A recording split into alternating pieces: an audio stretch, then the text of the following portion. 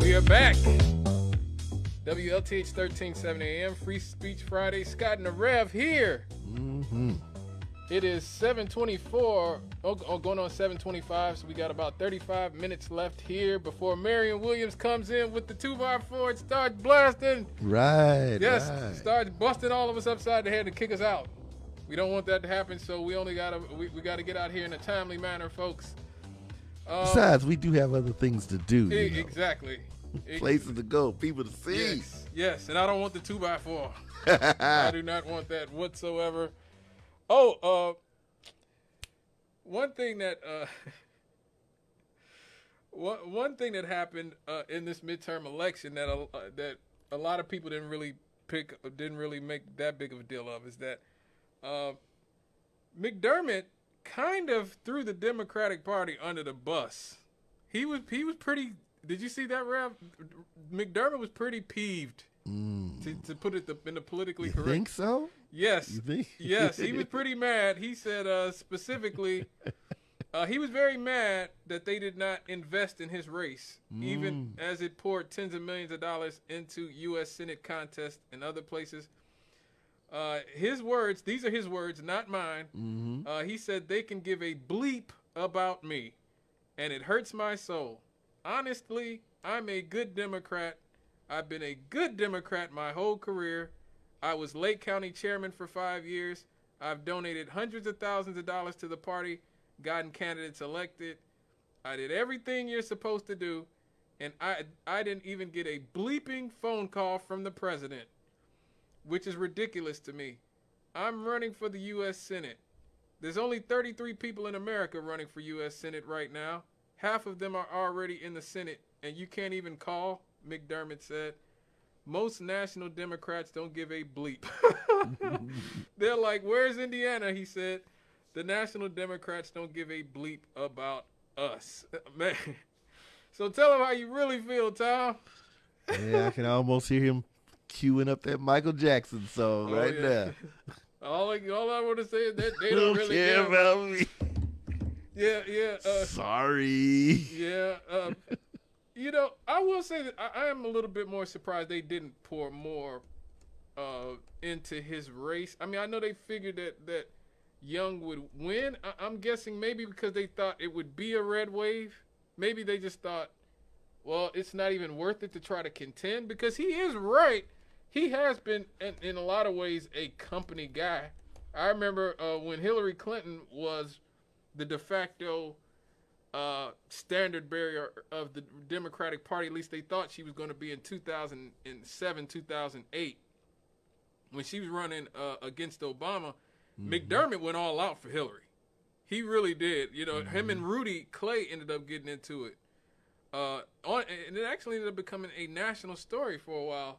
Mm. Yeah, it, it, I, remember. I think the Daily Show with Jon Stewart actually covered one of the uh, exchanges that McDermott and Rudy Clay had. I want to say. Yeah, I, I but this was like 15 years ago. So, it's, but, um, but yeah. Uh, so I mean, he has always supported the mainstream of the. You know, he he's been a good little soldier. I can understand why he would be a little bit uh, angry about it.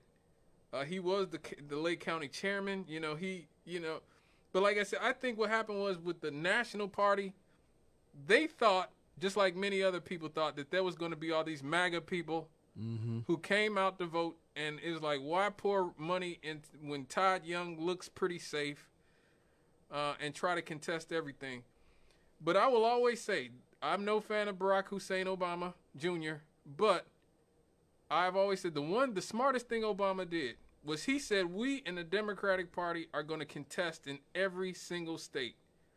Okay, and he had a 50 state strategy. Even that's remember he won Indiana, Mm-hmm. a, a, a state that no Democrat had won since JFK or something. Uh, either JFK or LBJ, one of them. It had been 40, 50 years since a Democrat had won here in Indiana.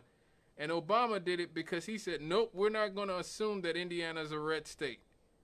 You know, and and like that's the and, and, and a lot of people like a lot of the smart people and, this is how i've learned uh, to look at a lot of these people in politics a lot of these people the so-called smart people, they are really there to blow smoke up the behinds of the people with money, and that is all they're there for to tell to to essentially confirm what they already believe. Mm-hmm. Because if you believe that Indiana's a red state and there's nothing that can be done about it, then you know wh- I'm not going to try to convince you any different. And that's why I say, look, I, am uh, like Frank Mrvan is one of the less odious Democrats in, in Congress. He's not one of the, you know, uh, Nancy Pelosi's of the world or, or the Chuck Schumer's of the world or, you know, he's he's not Marjorie Taylor Greene or somebody. He he is a blue collar working class center, just like Visclosky was, mm-hmm. a pro labor, understands he's a Rust Belt working class blue collar uh, he's in a blue collar district, and that's how he, he, he carried himself, and that's how he carries him. That's how he carried himself when he was in here with us a few uh, a few weeks ago when he was on uh, Nuestra Comunidad with Juan and Eve, and, and I, I met him and his uh, lovely wife. Uh, he he covered himself. He carried himself like a regular guy, and that I, I believe that helps him in this district. And I always say, if if Mrvan could go to the party the National Party, the National Democratic Party, and sort of tell them, look, you can compete in Indiana, you but you guys got to stop being the sellout corporate. You know, uh, you you got you got to stop being the, the sort of uppity, elitist snob party and be a blue collar organized labor party again, and you might be able to win in these places. Mm-hmm. But the people, the smart people, don't really care because, as we talked about earlier, they get paid regardless. Mm-hmm. Oh, we have a caller. Hello, caller. Hey, Scott. Pastor, do you think? Yeah, I'm sorry. We get, uh, uh, but yeah, uh, a lot of the smart people they are going to get paid regardless of what happens, and you know it's hard for me. It, it was hard for me to sort of break myself from this sort of mentality of there being the two teams, the Republican team, the Democratic team. It took a while for that because you realize once the more you learn about politics that a lot of these people who are in positions in these parties they are just there to collect the check. That is it. And uh, like you talked about earlier the republicans not really wanting to overturn roe v. Wade not like the the mm-hmm. that, but that's cannon fodder. That's, yeah. that's that brings in the dollars. Yeah yeah that brings in the dollars. And the republic like i said the democrats are, are the same way they are just there to bring in money. They are not there to actually try to compete and win. And so a lot of stuff that seems like common sense, I'm sure McDermott's kicking himself right now. Like it seems like common sense. I'm in a, a, a you know, I'm, I'm here in, in the Rust Belt. Why can't you guys just help me out a little bit? But he's got to know again, those people are not there. You know, they're, not there to win. They're there to make money. Mm-hmm. And so, you know, it, it's unfortunate for him. Now, one thing I saw, let me say this. One thing I, I saw before uh, before we uh, we we leave the midterms, I wanted to uh, talk about uh, Chuck Grassley is seeking his eighth term. Well, he, he won his eighth term in the U.S. Senate. Uh, Chuck Grassley is uh, he will be 95 at the end of his term. 95 years old, Rev. 95.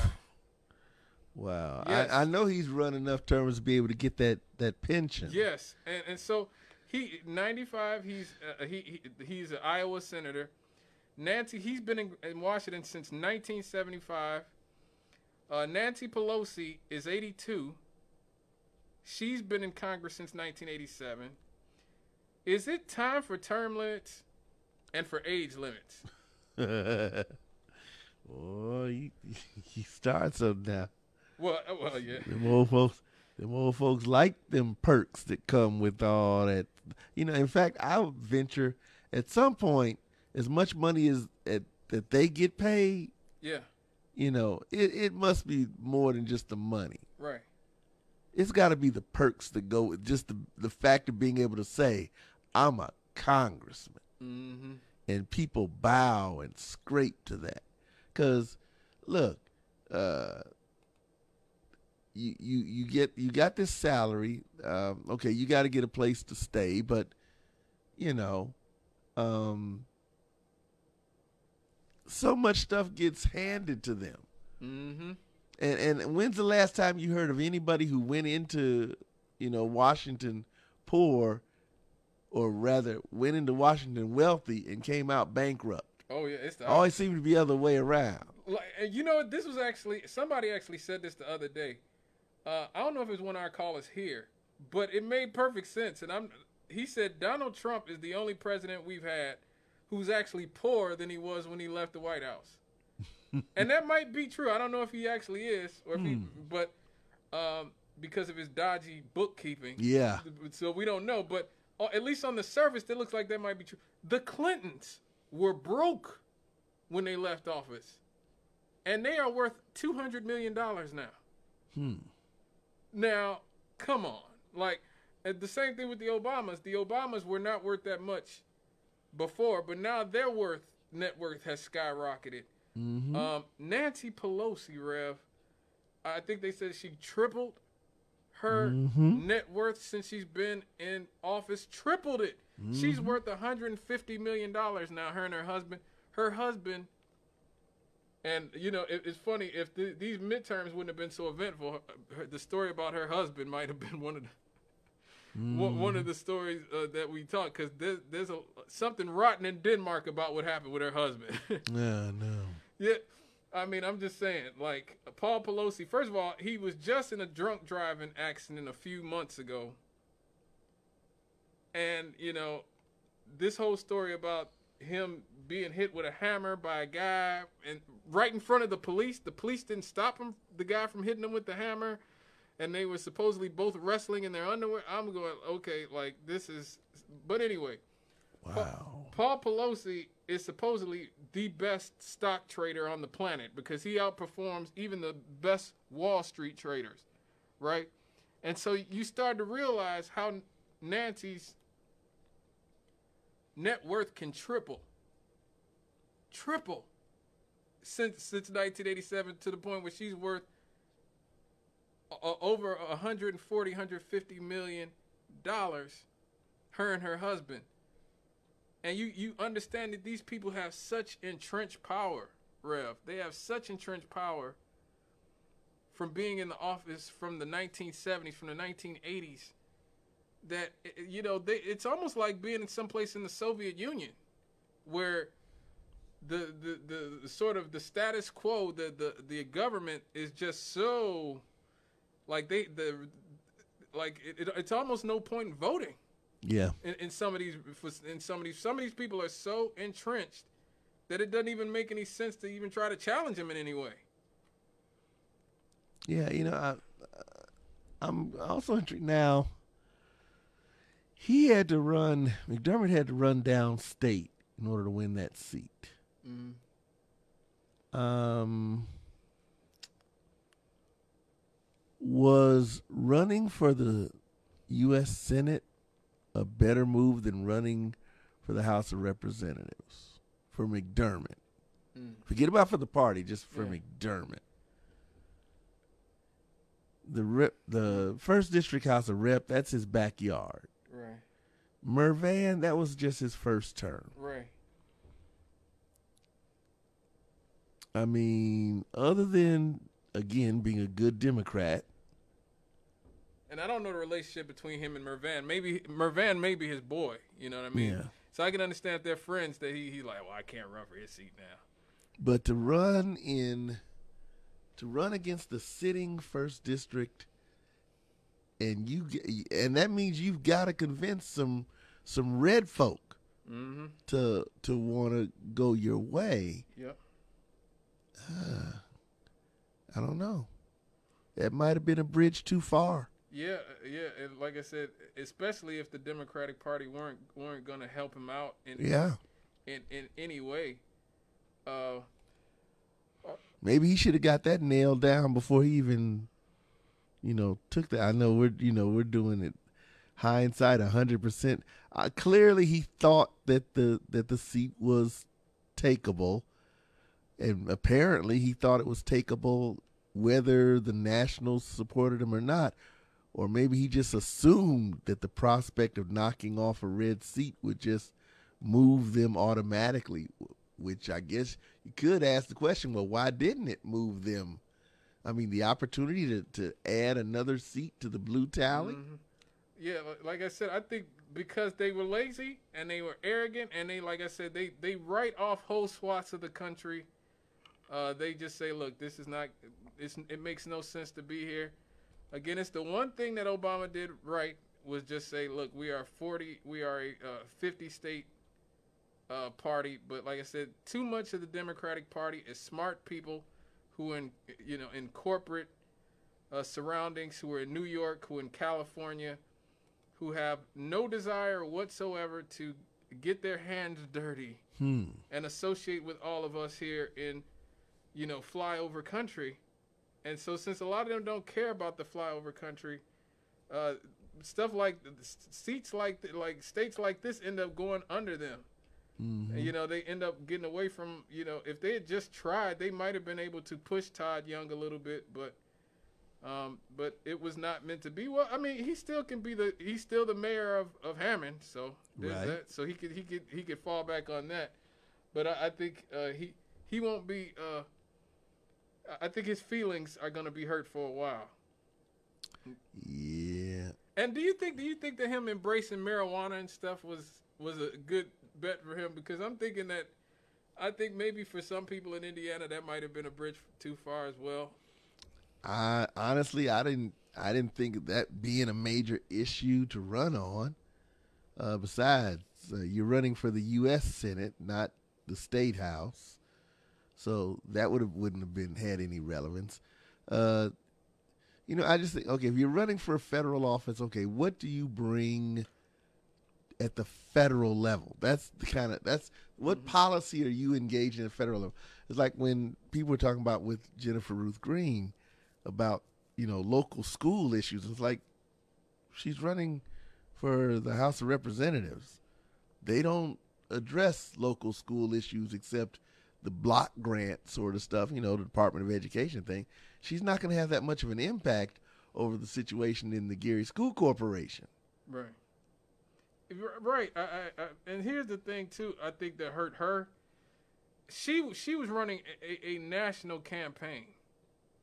Like she, like I mean, we know she's not from here, but even her uh, her uh, her uh, election day party, they said she didn't let the local media in. Yeah, I heard that. So I mean, like, eh, y- I mean, this is a very, this, this is a this is a very closed place. Like, if she was really interested in winning, it seems like she would have been she would have done a little bit more. And she always did that. Even during the campaign, she would always go to Fox News or she'd go somewhere else. Yes, places that really don't resonate here, Here, all that yeah, much. that's not a smart thing to do. It, she was thinking like a California person. Yeah. Yeah, like I said, if they had had just a straight, regular white dude, boring white guy, he might have been able to knock Mrvan off. And, Yeah. and, and I, that is something that I just can't even imagine. All right, folks, we got to go to a break. I, I totally spaced. Uh, we do have to go to a break. Uh, when we come back, a very special, a very special anniversary here in the city of Gary.